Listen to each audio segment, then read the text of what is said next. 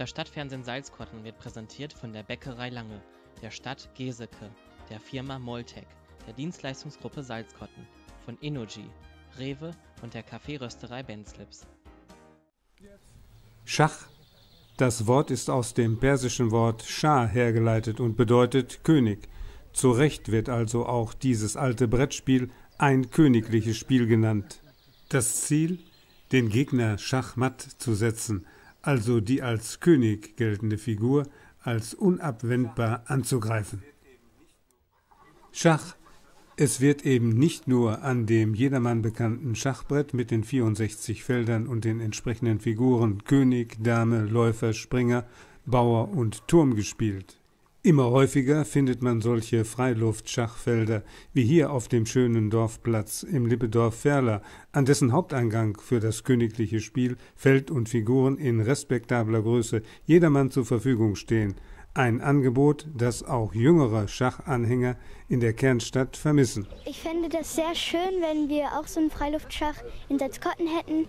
Nämlich dann könnten wir am Wochenende oder so mit Freunden aufs Fahrrad und dann dahin fahren und Spaß haben. Ich spiele schon seit ungefähr einem Jahr Schach und ich finde es hier beim Freiluftschach schön, weil man draußen spielen kann, bei schönem Wetter, kann sich mit Freunden treffen und ich würde es toll finden, wenn wir das in Salzkotten auch kriegen würden. Die Eröffnung, wie der erste Zug einer Schachpartie genannt wird, ist schon getan. So traf sich kürzlich eine Gruppe Schachbegeisterter in der historischen Ölmühle. Unter Federführung von Heinz Schläfing erörterte man die Fragen des Standortes einer Freiluftanlage sowie deren Finanzierung. Dabei wurde der neu gestaltete Franz Kleine Park als geeigneter Standort angesehen. Hier haben schon die Anhänger des Buhl- oder Betonspiels ihr Domizil gefunden. Mit eigenen Mitteln und viel Eigenleistung ist die Spielfläche entstanden. Da läge es ja nahe, auf diesem Wege dem Freiluftschachbrettfeld rasch näher zu kommen. Früh übt sich, was ein Meister werden will.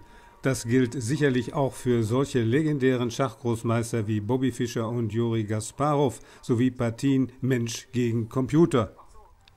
Und im Heinz-Nixdorf Museumsforum in Paderborn, dem weltweit größten Computermuseum, ist mit dem sogenannten Schachtürken der Nachbau einer geheimnisvollen Maschine zu sehen, an der die damaligen Großmeister reihenweise scheiterten. Wir stehen hier vor dem sogenannten Schachtürken im Heinz-Nixdorf Museumsforum. Es ist ein voll funktionsfähiger Nachbau des Originals, das 1770 am Hofe Maria Theresias in Wien vorgeführt wurde. Wolfgang von Kempelen hat dieses damalige Wunderwerk der Technik gebaut, der Kaiserin vorgeführt und äh, die ganze Welt war erstaunt, dass dieser Automat scheinbar Schach spielen konnte, gegen die besten Spieler seiner Zeit. Er hat auch gegen Napoleon zum Beispiel gespielt und äh, Jahrzehnte hat es gebraucht, bis ähm, ja, das Geheimnis gelüftet wurde, das ich hier jetzt gar nicht verraten will. Ähm, aber es ist natürlich ein Trick, mit dem gearbeitet wird. Es war nicht ein realer Automat, das ging damals noch nicht. Und äh, das Original ist verbrannt im 19. Jahrhundert und wir haben uns vor knapp 15 Jahren dran gemacht, das Gerät, den Schachtürken, nachzubauen. Und ja, seitdem ist es eine der Hauptattraktionen hier im Heinz-Nixdorf Museumsforum.